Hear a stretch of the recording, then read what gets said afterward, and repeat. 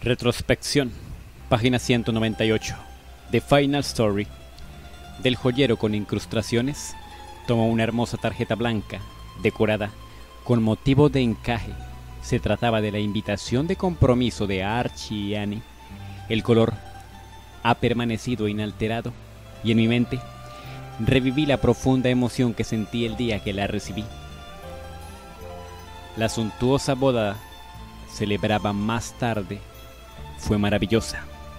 Pero la fiesta de compromiso celebrada en Litwood, tan llena de calor, despertó muchos recuerdos en mí y las lágrimas comenzaron a fluir sin fin. Litwood estaba cubierta de flores y Annie, envuelta en un simple vestido con chiflón, color agua marina, parecía brillar con la luz casi cegadora. Mi amiga estaba preciosa y segura de sí misma.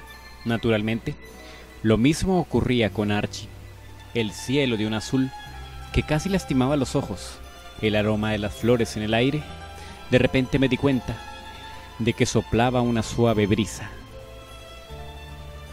Sé que puedo escribirle cartas a Steer en mi corazón, siempre que quiera, pero en estos días era imposible para mí hacer lo mismo con Anthony.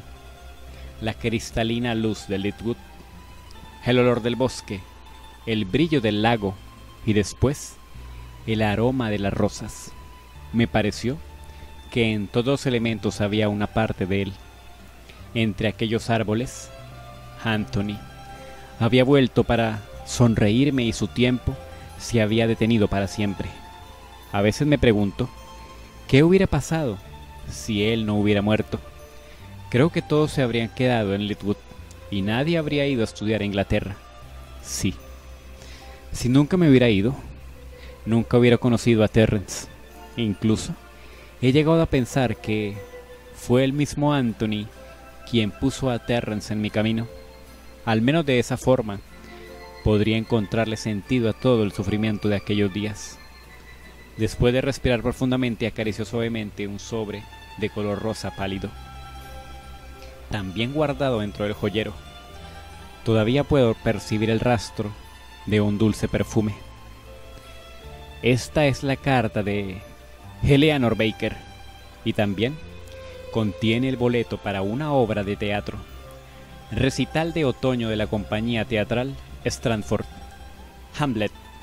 Director Robert Hathaway. Protagonista Terrence Graham.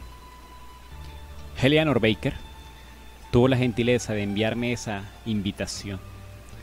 Pero yo no la acepté.